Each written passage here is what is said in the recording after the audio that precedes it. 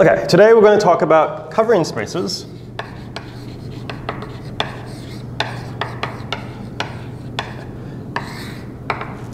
And we've already seen a covering space. So um, we, in talking about the fundamental group of pi 1, in showing that the fundamental group of pi, I'm sorry, showing that the fundamental group of S1, when we showed that pi 1 of S1 is isomorphic to Z, the group of integers, we did that by a particular construction. We show that there was a map, a projection map, from the real numbers onto S1. Now, we often think of the real numbers as a line, but in this case, it helped us to think about it as more like a helix extending indefinitely for both directions, mapping onto the circle S1, where if this is the map P, the preimage of your base point here is each integer up here, right? So if this is like 0, 1, 2, 3, negative 1, all your integers map to this base point. And then as you travel around down here, it corresponds to traveling from one integer to the next, right? So we can make this precise. For example, we could define this to be the map that sends t to, if we think of S1 as living in two-dimensional space, that would map to something like cosine of 2 pi t sine of 2 pi t, right? And so this was our way of seeing that there was this nice map from R to S1. And then what we argued is that looping around once down here just corresponds moving from one integer to the next. And if you want to do a jump from one integer to two larger than that integer, that corresponds to looping around twice, right? And so this was a way that we started to see that loops down here, or homotopy classes of loops, loops up to homotopy, are equivalent to integers. And that's how we showed there was this isomorphism. Okay, so this is also an example of a covering space. Um, let me give you some more examples of quick covering spaces, and then we'll do a quick definition. Um, here I had this cycle going infinite, uh, it doesn't have to be infinite. You could instead have a helix that maybe only loops around a couple times. So something like this guy. And then at some point, instead of continuing up, it just comes back down to the bottom. Now, I don't want this to cross over himself. So this is kind of hard to imagine visualizing this in three-dimensional space, because in three-dimensional space, he would intersect himself. But you could, you know, this is my attempt to represent what I'm trying to draw here, which is a map from, really this is just a circle. It's just a circle I twisted up. And looks like I twisted it up so it goes around one, two, three times. So that you're going around three times the circle to go around here once. That is, going around the circle once is going around him um, going around this circle once is going around him three times. So if I just move, if I just go around him once, up here that corresponds to just not even going the full circle, right? That's like just going from this point to this point. And if I did go the full circle, if I did go around the full circle, that would correspond down here to going around three times. So this is a map P from S1 to S1, twisted up S1, but that's my way of trying to think of is just a copy of S1, where going once down here is only going one third of the distance, where you could define as something like the map Z to Z cubed. If you think of these as living like in the complex plane, right? If this is like the unit circle in the complex plane, then cubing is just tripling the amount of distance you go around. So there's another example of what we're going to call a covering space. In general, you can do this for any power. You know, you could be fifth power or 12th power or whatever, where it's just thinking of a helix with that many rungs, or thought of another way, as a helix, when you travel around once, it travels around this many times the circle below. And this is kind of the ultimate example, because if you travel the entire real line once, it's like traveling around this infinitely many times, right? So you can think this is like the extrema of this case. So let's give my definition now. Here's a couple motivating examples, but here's my definition. A covering space is um, let me rewrite this. We're going to say x tilde with some base point, x tilde uh, naught, is a covering space for some space x with some base point x naught if there exists some map that sends x tilde onto x. And of course, this map should be sending the base point x tilde naught to the base point x naught, such that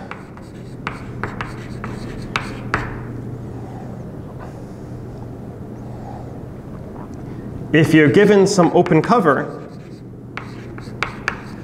given an open cover, U alpha, this is some collection of open sets that cover your space. So in the example of S1, U open cover might just be this open set that comprises just over half of the circle, and this other open set that comprises just over half of the circle. I, I, I just mean the one dimensional. I'm just sh sh showing you surrounding you know, the stuff inside this green region, stuff inside the orange is the two open sets.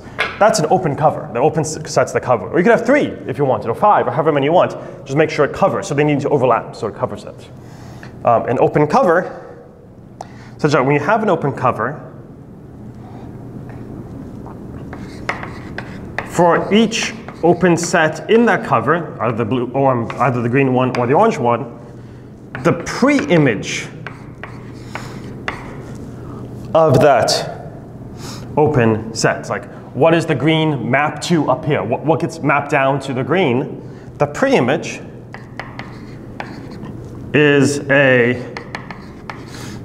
disjoint collection of open sets, each homeomorphic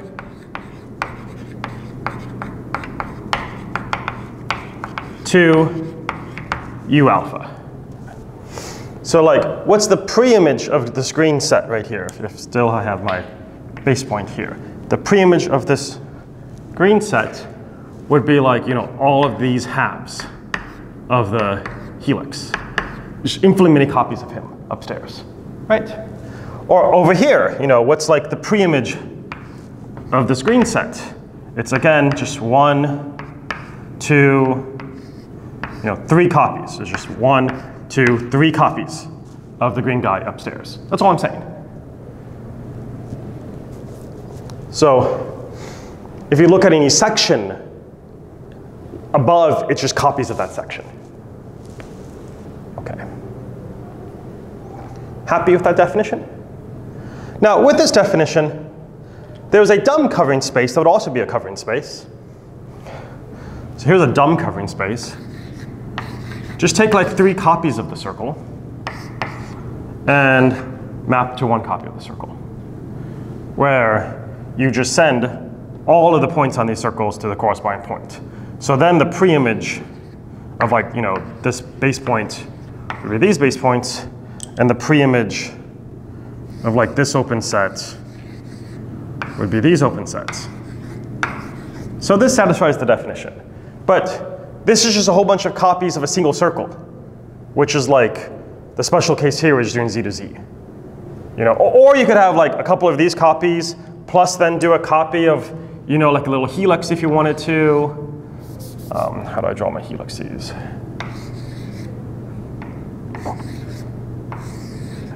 You know, you could, you could stack together a bunch of the other um, covering spaces and just have a disjoint union of them, and them together is also a, a covering space.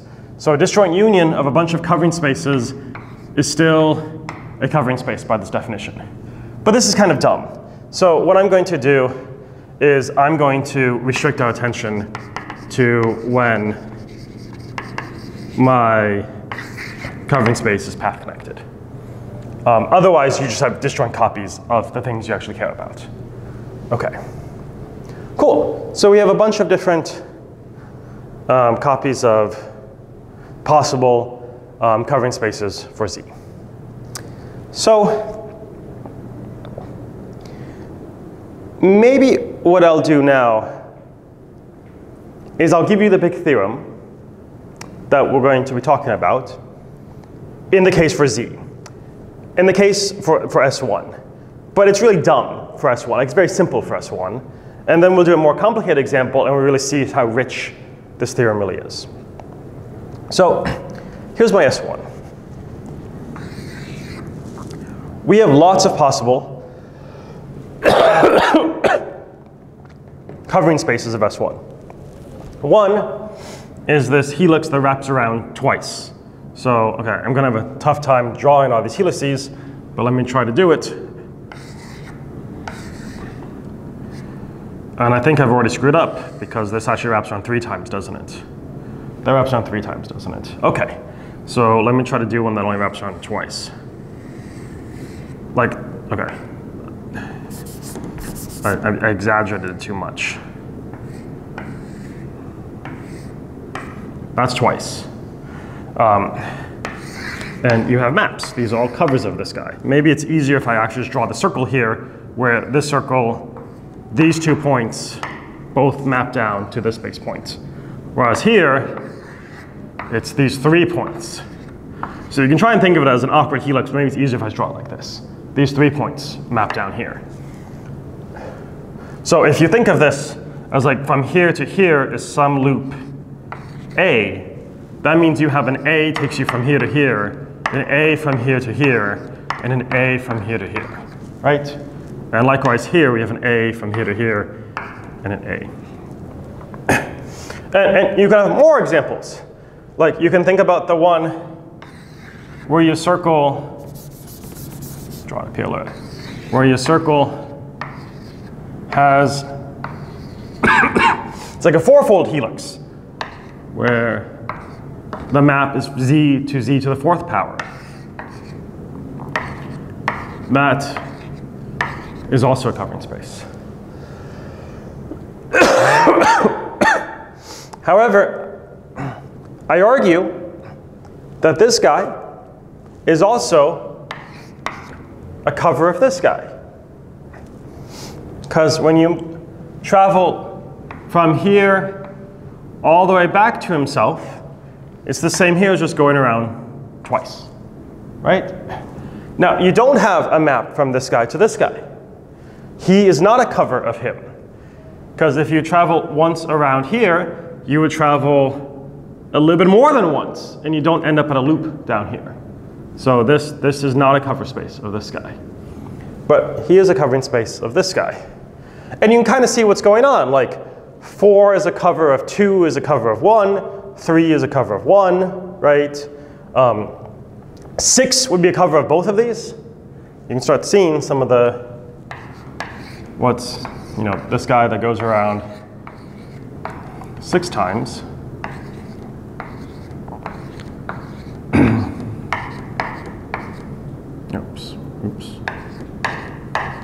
Six copies of A would be a cover of both of those, and, and he's also a cover of this guy down here. so we start seeing some structure emerging where you have covering spaces that are covering spaces of other covering spaces, and sometimes they're not. You get this graph that emerges. Well, if we keep building this up, here's my question. What is the one covering space to rule them all? is there a covering space that's a cover of all of your other covering spaces? And if so, what is it?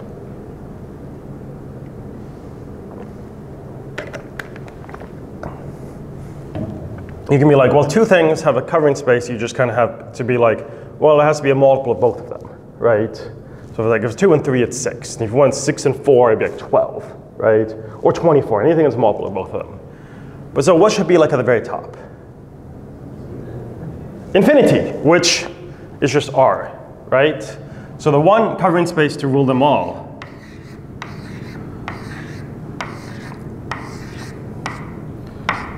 is actually R, where R is itself a cover of the sky, but it's also a cover of all of your other covering spaces. It's just here, to like achieve a loop down here, you have to go up four integers, from like zero to four, or one to five, or whatever four integers you want to do. And to achieve a loop around this, you just go up three integers, right? So there's like one cover that covers them all. Okay, so th this might be somewhat interesting, right? Um, but now let's take it one step further. Let's think about pi 1 of these spaces. Well, this is where this example might be a little bit silly because all of these are just circles. So all of the pi 1s are just z. But I, let's think about pi 1 in terms of what's generating it. Like this pi 1. What's the fundamental group of this space? What's my fundamental group? Down here, here my fundamental group is just the group generated by A. You know, any number of copies of A. Whereas if I look at this guy, what's my pi 1 here? What generates the pi 1 of this space? It's still going to be z, but what's my generator? It's a squared to get a loop, right? It's any number of copies of a squared. You could do a squared, you could do a to the fourth, you could go down twice, you could do a to the negative two, but it's copies of a squared. How about this guy? Well, here, it's just going to be a cubed. Here, it's a to the sixth, and so forth. This is a to the fourth. Uh, wait, was this a to the fourth? Yeah, this is a to the fourth. And how about you pi 1 here? Well, the fundamental group of R we said is trivial. 0 or 1, whatever you use to denote the trivial fundamental group. And what I want you to notice is that A squared, this group here, is a subgroup of A. So this group is a subgroup. Likewise, A cubed is a subgroup of A. Everything generated by A cubed sits inside of everything generated by A. It, there's stuff in here not, there's stuff in A not in here, like A to the fifth is in this group that's not in this group, but this is a subgroup. and A to the sixth is a subgroup of both A squared and A cubed. Right, like if this is everything generated by a to the 6, like a to the 6, a to the 12, a to the 18, um, trivial, a to the negative 6, that's all can be produced by multiples of a squared or multiples of a cubed. So this guy is a subgroup of both of them.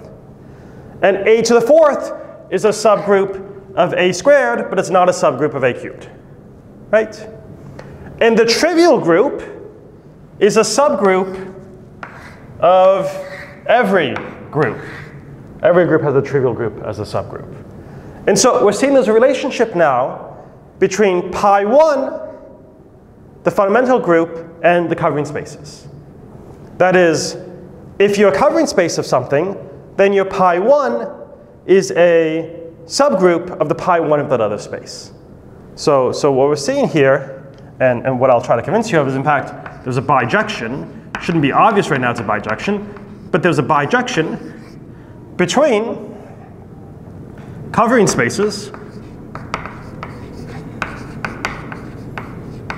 where you have some x tilde mapping onto some x with some base point mapping onto some um, base point x naught. There's a bijection between these guys and subgroups of the fundamental group of your base space. and the association between these is just where over here your covering space x tilde x naught corresponds exactly. I've been saying it's pi 1. Like I've been saying that this is like pi 1 of this space up here. What, what this really is though, like the fact that I'm calling this a squared here, is I'm actually thinking of what happens when I take this loop and I map it down here. Then it becomes a squared. Like, like me drawing one loop up here as a squared is actually me thinking that one loop has been mapped onto two copies. So what it actually is, is it's the image of the projection map of pi 1 of the covering space.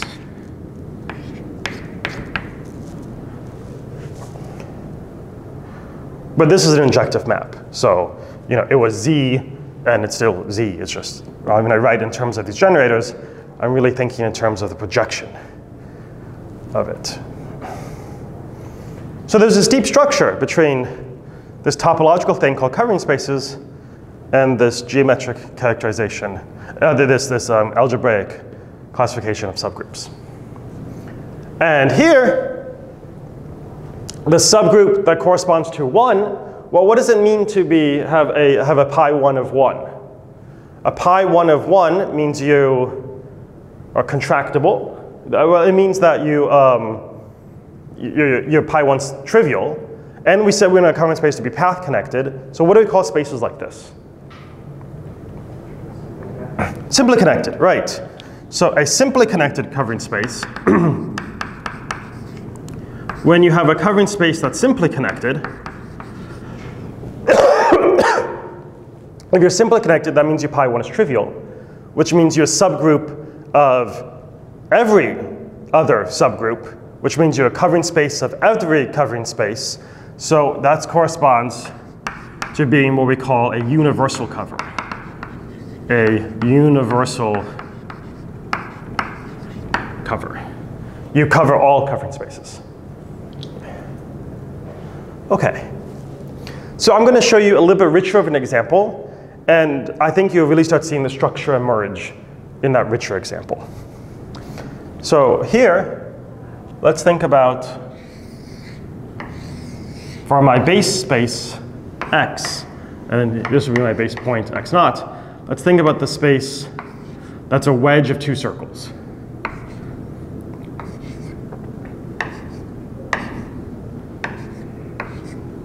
A wedge of two circles. So you already know what the pi 1 of this space is. What is, let's do a different color. What is pi 1 of x? Yeah, it's the free group of two generators where your generators are just your A and your B. So this is the group made up of all words you can make with A and B and inverses of A and B. So in this group are like the words a, A, A, or A, B, A, B, A, B, or B, A to the negative 7, B to the negative 5, A cubed, whatever, right? That's all the stuff in that group. so we want to start identifying some covering spaces of this space. So maybe, maybe these aren't obvious, but like you help me, can we build a covering space? Well, you should think locally, like the, the whole homeomorphic condition there is saying locally, the covering space has to look like this space. Not overall, but if you just look at a section of it, it needs to look like this space. So like whatever the base point is up here, it should look like that space. It should have coming out of it an A, going into it an A, coming out of it a B, and going into it a B. Now, what happens next? You know, totally up to you. But that's what it should look like locally. So here's one possibility. It could look like this.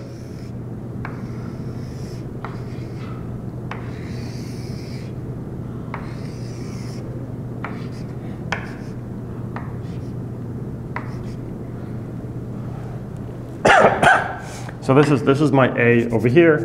This is my B. This guy's A, and this guy's B. So think about like how that maps onto here. It's like if you were following this loop A, and, and we should pick one of these to be my base point.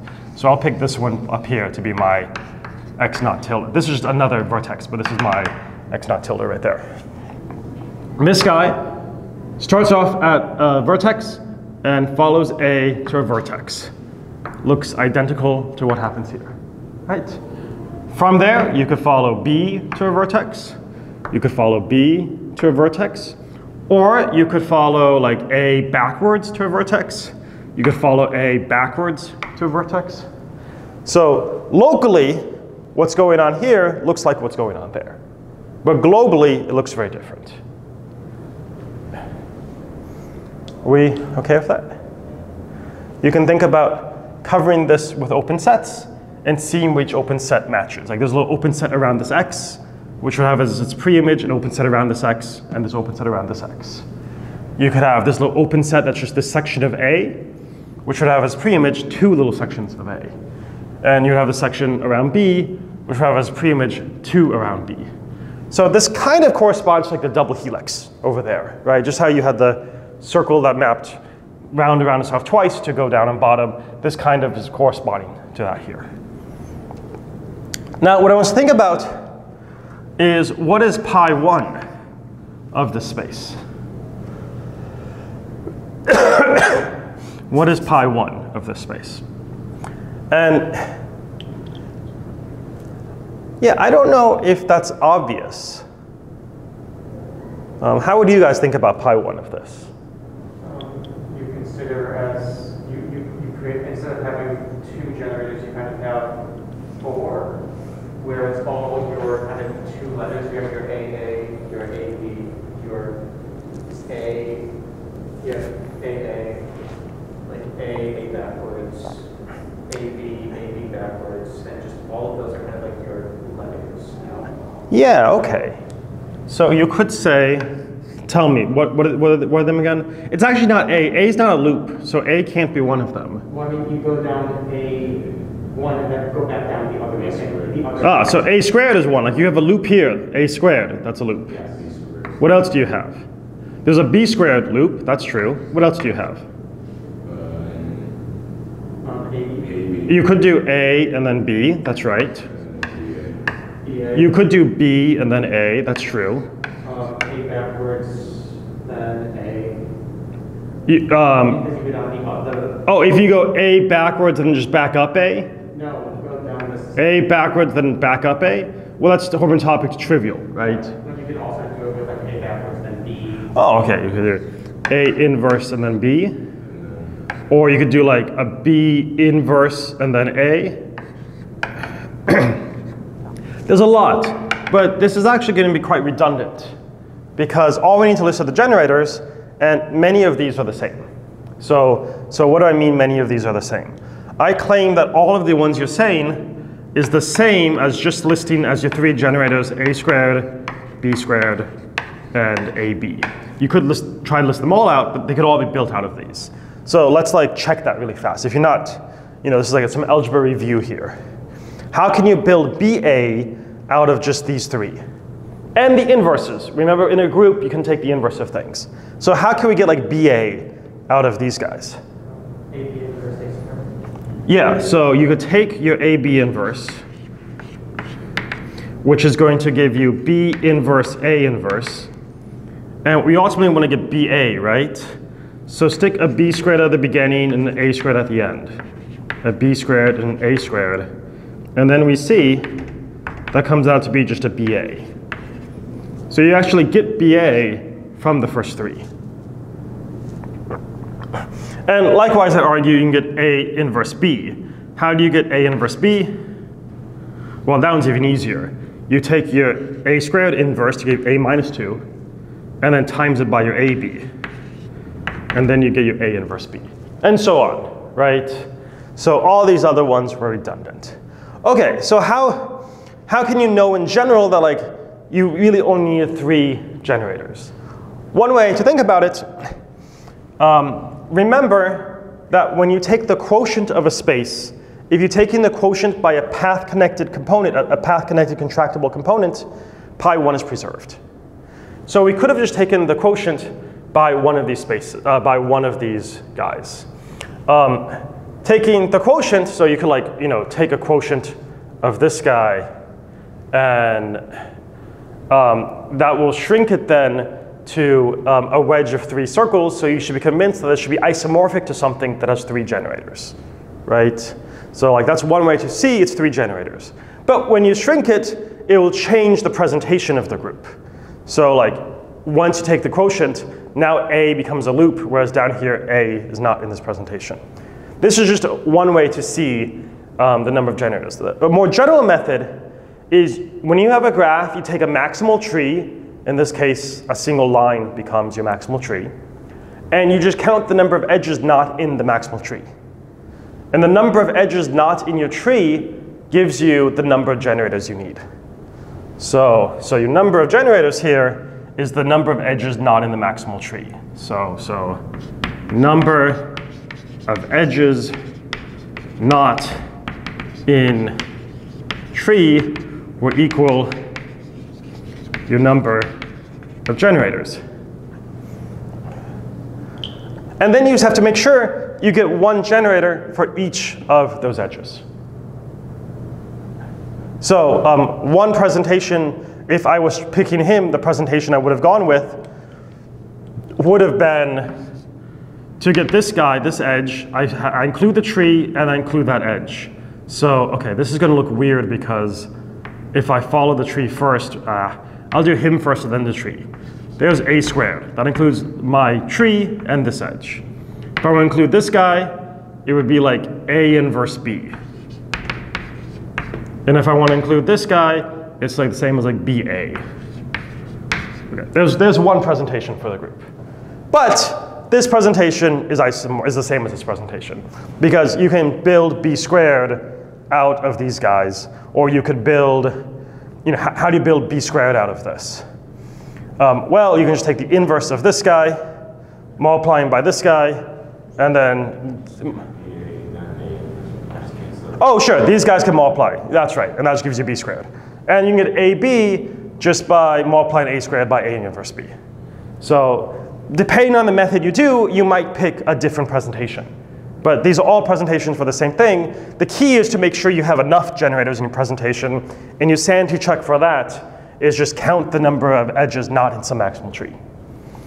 And, and then make sure that you actually have guys that are independent of each other, right? And these are, there's no way to get AB out of A squareds and B squareds. Like, you can convince yourself of that. There's always a to have A squared, there's always a B squared. He's truly independent of those guys. So either one of these two would be a good presentation. I, am going to stick with this presentation because I think it just kind of looks cleaner, doesn't it? Like, it's more intuitive. So I'm going to erase him. But what you can see now is he is a cover of him, and the subgroup of this guy is a subgroup of him. Of this fundamental group is a subgroup of this guy. In here, you have things not in here, right? So what's one thing in here that's not in there?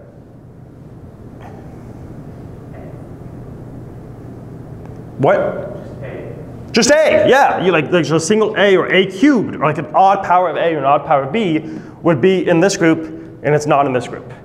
So you know this is truly a proper subgroup. It's not. It's not the whole thing. It's just, but anything you can build out of A squareds, B squareds, and ABs, you could build out of A's and B's. Okay, let's look at another cover of the space. So let's look at another cover of this space.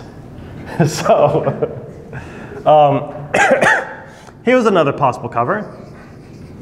Well, we want to have some point that maps to my x0, my x not tilde. And I just have to make sure locally it looks like this. And so I can even keep this a the same. And over here, I'll start doing my B, but what I'll do is I'll break this B up. So one goes out, one comes in, and then here, I'll just put another loop for my, for my A, and one needs to go out and one needs to come in. So some, oh, one needs to go out and one needs to come in. So something like this, right? Okay, I claim that this is also a covering space for this guy. So um, this space here just maps onto here. This B maps all the way around. This B um, maps onto going the opposite way, and then this A maps onto here. So it's also, for each open region here, there are two upstairs that map to it. Just like here, there were two that map to it.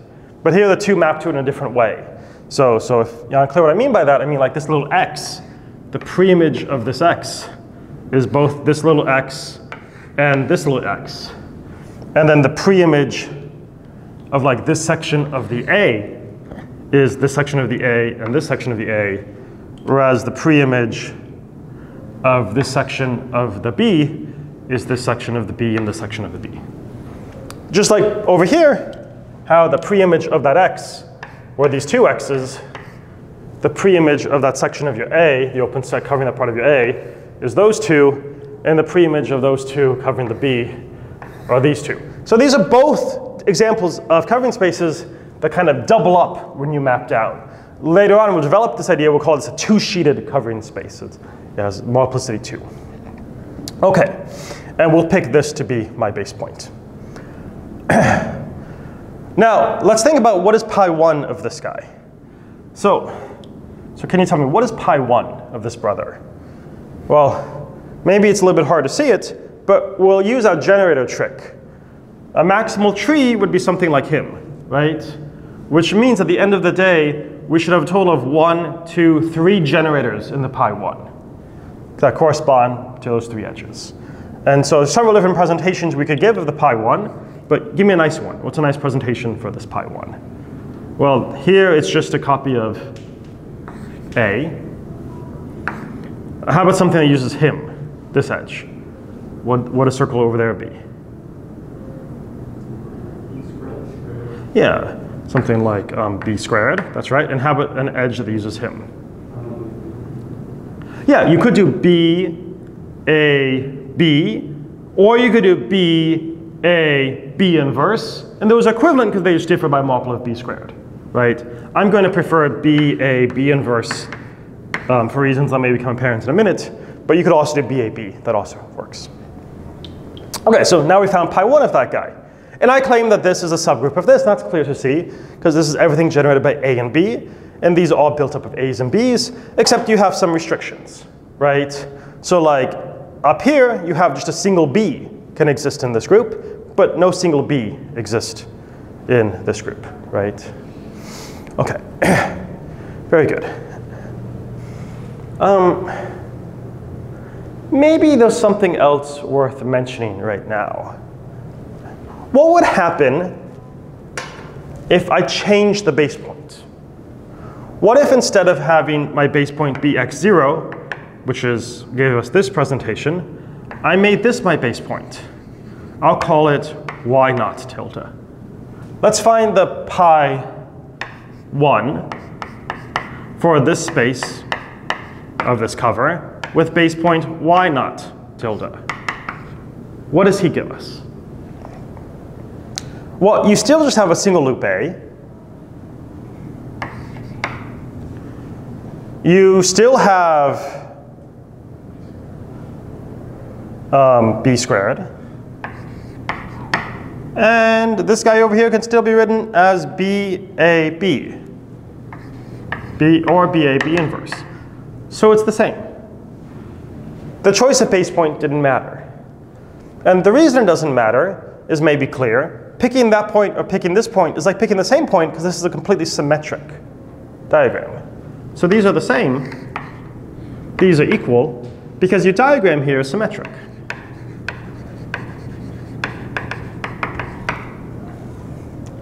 Likewise, over here, this diagram is symmetric. Picking this point is like picking this point. This is also a symmetric diagram.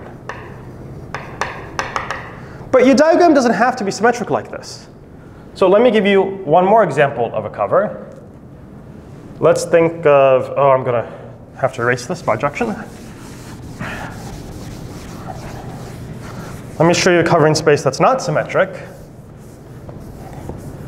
And then you might think the choice of base point actually begins to matter. So I'll start the same way.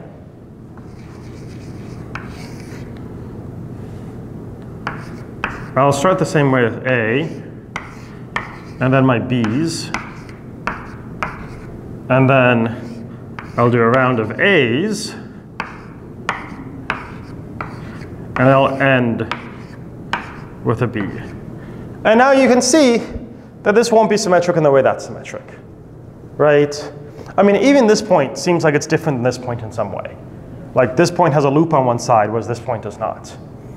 So let's find the pi 1 for both of these guys now, but with, you know, let's say this is one of the, um, let's call this like x naught tilde, and then we'll do y naught tilde. We'll find pi 1 for both of these. So let's first find pi 1 Uh, at x naught tilde. What is my pi 1? Well, I could pick some spanning tree. I can see now that there are four edges remaining, so there should be four generators. And a good name for those generators, like here, it would be something like a squared. Here it would be something like b squared. Here it would be something like b a squared, b inverse. And here is something like B A B A inverse B inverse. B A B A inverse B inverse. Whereas if I shift over to the base point y naught, how are things different? Now I'm here. Yeah? Oh, you're right, that's just A. There's a single loop around it. Very good. Down here, I'm now at this base point. So if I want to get that A, I have to like travel along B, and then I can do my A and back. So this first guy instead of A is something like B inverse AB, right? Or if you want to, you could have first traveled along B inverse, and then done your A and traveled back along B, whichever way you want to. Now, the second guy for this edge, it just becomes a b squared. Still just a b squared. This next guy is now just an a squared. And this last b, I'll still need to go along a, do b, and then come back. But what's the difference between this guy and this guy? How do they differ? To go from here to here, we have these B inverse B's at each step, right? Even here from B, you could think there was like a B inverse and B, it just doesn't make a difference. Here, you lose the B and B inverse by adding a B inverse to the beginning and a B at the end, canceling that off. Here, you lose the B and B inverse by adding a B inverse at the beginning and B at the end.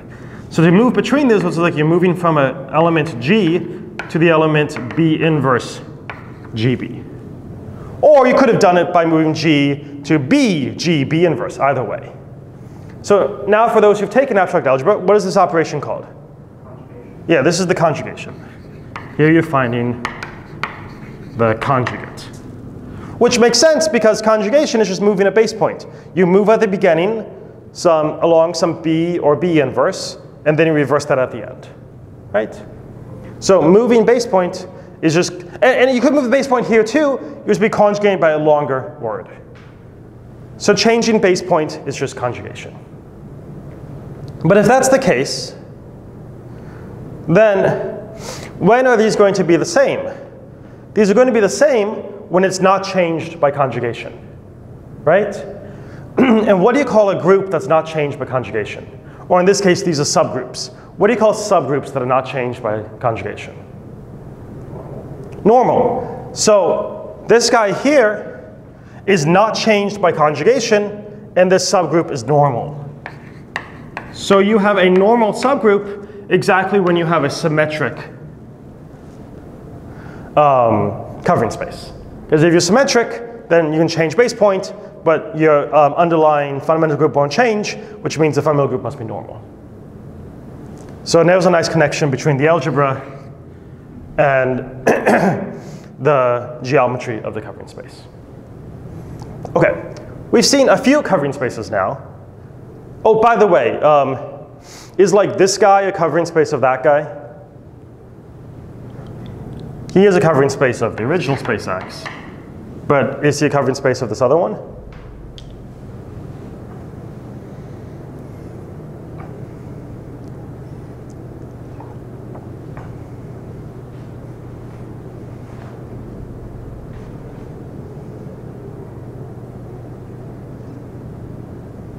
Can you build all of these out of these? Well, you could get A, you can get B squared. Can you get this guy?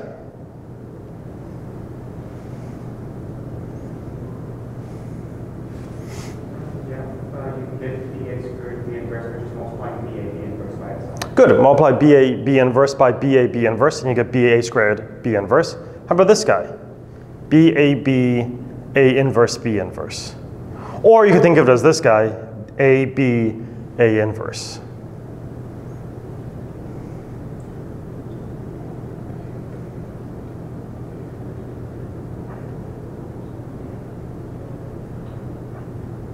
I don't believe so. Yeah, I don't think you can. And that should correspond to there's not a nice way to map this onto here. Because it's like you have this problem of where do you map this A to?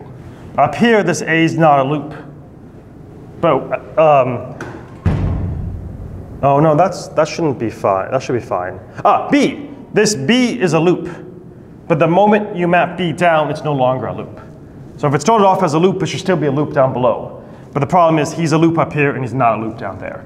So there's not a cover. This, this guy is not a cover of this guy. And um, this presentation will not, either presentation will not be a subgroup of that guy. Yeah. Would it be also be a problem if you don't have the same number of the of vertices? What's the point? You don't need the same number of vertices because you can have two mapped to one. I mean, not a, Yeah, so now you're starting to think that, um, well, maybe if a cover is going to be a cover, there needs to be some kind of like constant um, number of like multiplicity going on. And so it does turn out to be the case that the number here needs to be a multiple of the guy there. That's right. Because it's like, um, what is the pre-image of this guy? And then what's the pre-image of that guy? And you can convince yourself, well, it needs to be a multiple. So this wouldn't work, but maybe if you add one more and you have four here, it will be a, a cover. So very, very good observation. Okay, let me just show you some more exotic covers, more interesting covers, right? So, so here's a more interesting cover that you've never seen before.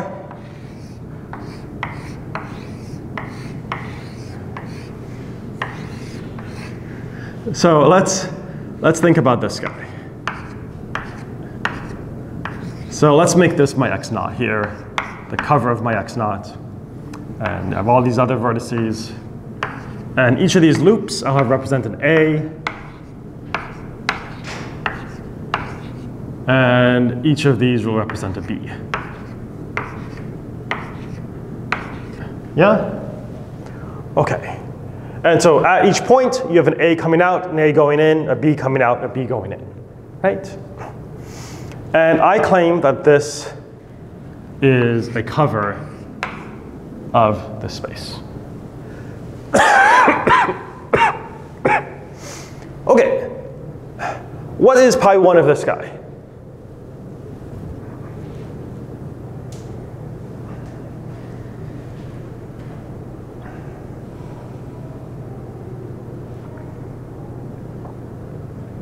Your maximal tree can be small over these. Good, make your tree just this line down here. So there's gonna be infinitely many generators, right? One for each loop.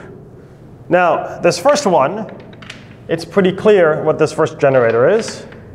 It's just A, you know, this first loop is just an A. But what would be like this guy? Well, I would need to travel along B, then do A, and then travel backwards along B. Or if I wanted to do this guy, I would travel along B two steps, do A, and then travel backwards along B two steps, and so forth. Is there a, do you see the general form of this? This is just going to be the group generated by, um, how do we do it? B to the n, A, B to the minus n. Right, where that also accounts for going backwards. Like this is B inverse A, B. That's like n is negative one. Or you could do 12 steps of B and then an A and then back 12 steps. So where this is n is any integer. So this is a, a, a free group with infinitely many generators. And, and that is a subgroup of this guy. Is that a subgroup of any of the other ones?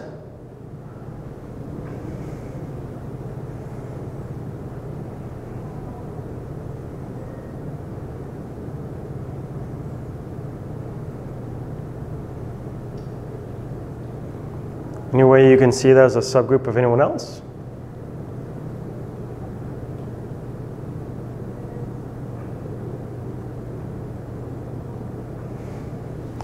How about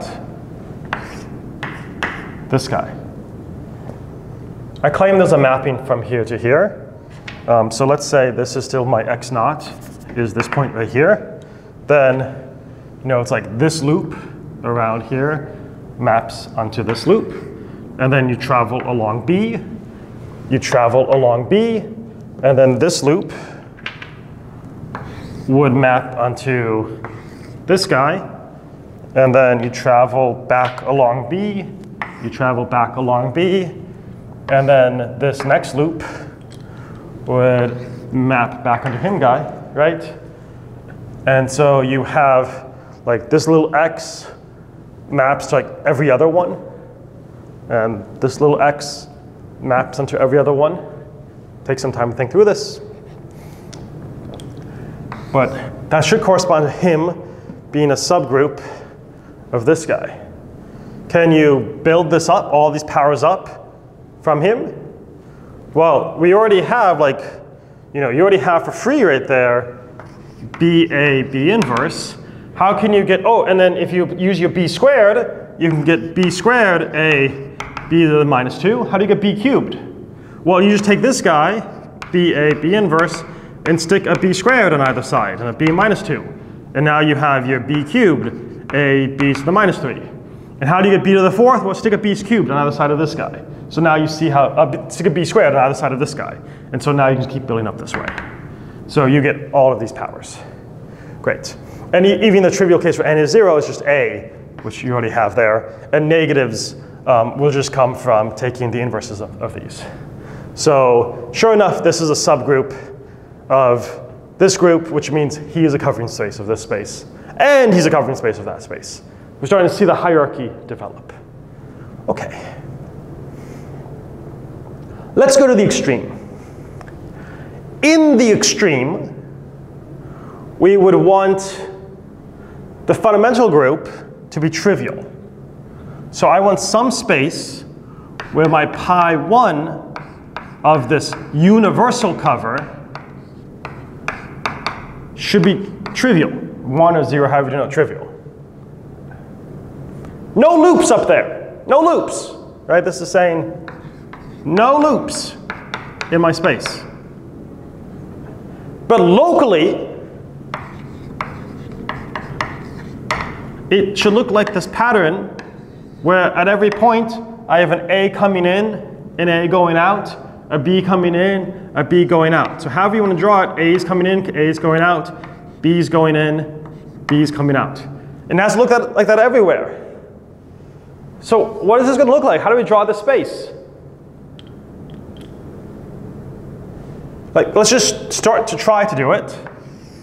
So, so we might just begin by putting like a loop here. Like, here's my, here's my cover, here's my x naught. Uh, here's my, my base, the cover of my base point, and I'm just going to have b's going up and a's going to the right. But like, eventually this needs to go, it can't be a loop, so it has to go to some other point, right? And these all have to go to some other point. But then like, what happens at that point? Well, it should have like the same local look to it. Locally, it should look the same. Where again, you'd have like your B's going up and your A is going to the right. Your B is going up, and your A is going to the right. But then, like, you know, if you go up a little bit, what happens? Well, at some point, you should hit point. And then at that point, you know, it should also have that cross design. And you follow down, it should be a point. And, and what, what is this going to be? It's just this fractal. So the universal cover just comes out to be, you know, I can't draw the infinite fractal, but you have to just understand, like, you pursue any of these directions, it just keep, goes on forever. And so I'm trying to represent that with this like crude approximation. Uh, and, and, I'm going to keep drawing it smaller and smaller and smaller, but locally it just looks like that at every point, right? And so, you know, you could fill this in with as much detail as your patience and skill permits. But you get this infinite fractal. And we avoided having any loops, so no loops, and locally it looks just like it does, and this nice infinite cover. Which means this is also a covering space of all the other covering spaces, right? And so you should like take some time to think about like the map from him to him. What is, what does he look like? Like if I start off at this point, going along B is going to the right, or I could go along A, like going here is like going around here. And then B is going to, uh, B is like going up this way. So, you know, you can think about what each of those maps look like. but now that you understand him, I think now we have the idea, we can start building all kinds of other covers. So give me some subgroup of AB, and we're going to build a covering space for it. So give me like a simple one, like with one generator or something, a really simple um, give me a really simple subgroup of A and B. Which one? A times B, I love it. So let's build a cover. Let's do it in pink. Whose pi 1 is AB. so we have to have like a loop that corresponds to AB, right? So I have to have inside of here something that looks like you do A, and then you do B. I'll call this point up here my cover of my base point. So from there, I do A, I do B. There's my AB. Now, I want to have no other loops in this space, right? Because I don't want to have anything else, no other words. This is my only loop I want. So what should the rest of the space look like? Well, I have an A coming out. I need an A going in. And I have a B coming in, so I need a B coming out. And I have a A going in, so I need A coming out. And I have a B coming out, so I need a B going in. Okay, so I had to build stuff over here. What is it gonna look like off on this, off on this branch? You're just gonna repeat this fractal. He's just gonna look like that crazy fractal design going on forever. And same thing off on this branch. It's just gonna be that crazy fractal design going off forever. And same thing on this branch. It's just going to be that crazy fractal design going off forever. Pretty nice, right? Okay, let's do one more. Give me another like nice simple subgroup and let's draw the um, covering space for it. How about we just do something like, I don't know, a squared. You tell me. What will the covering space for a squared? Oh, and then, and then you should think about like how you map this onto here right? Like this, this is nice activity. But what is the um, covering space that corresponds to the subgroup A squared? Well, I need to make sure I get an A squared. So how do I get A squared? It's exactly this, except I just do an A here and an A back, right? And this is gonna look exactly the same. Okay, so it's just this, just make that A and A and those all B's. Okay, so let's make a different one. What if I wanted, maybe that's too similar to this one. What if I just wanted a single copy of A? The group generated by A, that's a subgroup of the group generated by A and B. What does that look like?